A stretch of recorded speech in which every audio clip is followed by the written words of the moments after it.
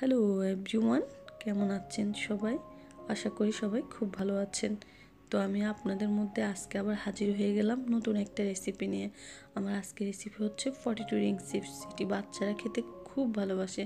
শুধু বাচ্চারা বললেই ভুল হবে, এটা সব বয়সের মানুষই খেতে ভালোবাসে। তো চলুন দেখে নিই আমার ফর্টি টু রিং চিপস তৈরি করতে কী কী লাগবে। এর জন্য আমি দুটো আলু সিদ্ধ করে নিয়েছি। মনে রাখবেন যখনই আপনি আলুটা সিদ্ধ করবেন, এর ভেতরে যেন পানি বেশি না থাকে। আলুটা ভালো করে ম্যাশ করে নেবেন। ম্যাশ করে নেওয়ার পরে দু টেবিল চামচ কর্নফ্লাওয়ার দিচ্ছি আমি। এটা আলুর পরিমাণের উপর নির্ভর করে আপনাকে কর্নফ্লাওয়ারটা দিতে হবে। আমার আপাতত দু টেবিল চামচ লেগেছে। কর্নফ্লাওয়ারটা দেওয়ার পর ভালো করে একটা ডো তৈরি করে নেবেন। এরপর আমি দিয়ে দিচ্ছি সাদা গোলমরিচের গুঁড়া আধা চা চামচ, চাট মশলা আধা চা চামচ। যদি চাট মশলা না থাকে, আপনি পাঁচ টাকা দামের ম্যাগি মশলাটাও ব্যবহার করতে পারেন। হলুদের গুঁড়ো আধা চা চামচ লবণ, স্বাদ মতো এবং আমি অল্প পরিমাণ টেস্টিং সল্ট দিচ্ছি। যদি আপনাদের কাছে টেস্টিং সল্টটা না থাকে, তাহলে না দিলেও কোনো প্রবলেম নেই।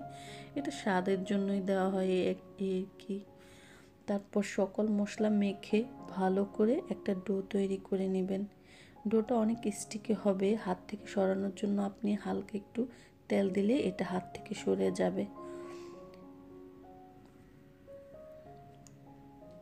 এরপর একটা পিঠা বেলুনির মধ্যে সামান্য পরিমাণ তেল নিয়ে মেখে দিবেন। এতে করে কি হবে? আপনি যখনই চিপসের ডোটা রুটি আকারে শেপ দিবেন সেটার ফিরের মধ্যে লাগবে না। এবার আস্তে আস্তে হাত দিয়ে চেপে চেপে আপনি একটা রুটি শেপ করে নেবেন।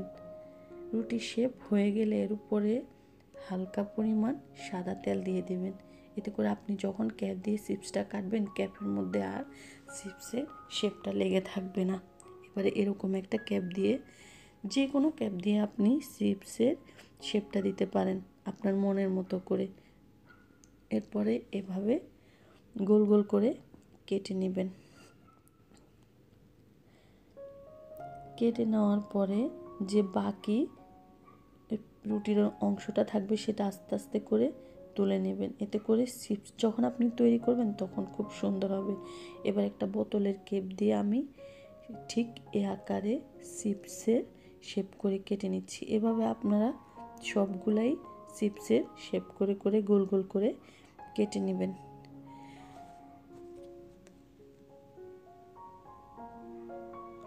এবার ভাজার জন্য আমি একটা অন্য পাত্রের মধ্যে বেশি পরিমাণ তেল দিয়ে চুলার মধ্যে বসিয়ে দিয়েছি।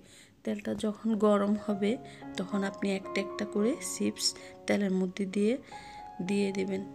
কিন্তু মনে রাখবেন, বেশি গাদাগাদি করে দেবেন না, তাতে কি হবে? চিপসগুলো একটা একটার মধ্যে লেগে যাবে। এবার আস্তে আস্তে করে একটা চাকনি দিয়ে নেড়ে দেবেন। যখন আপনার কাঙ্ক্ষিত কালারটা আসবে চিপসের মধ্যে, তখন আপনি এটা তুলে নিতে পারেন।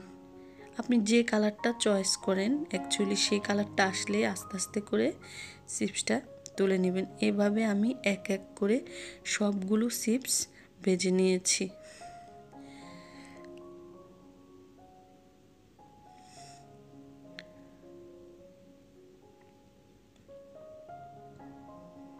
তো হয়ে গেল আমার সুস্বাদু ফর্টি টু রিং চিপস আশা করি আপনাদের সবার খুব ভালো লাগবে। যদি ভালো লাগে প্লিজ আমার চ্যানেলটা সাবস্ক্রাইব করে পাশে থাকা বেল আইকনটি প্রেস করে দিবেন। আল্লাহ হাফেজ।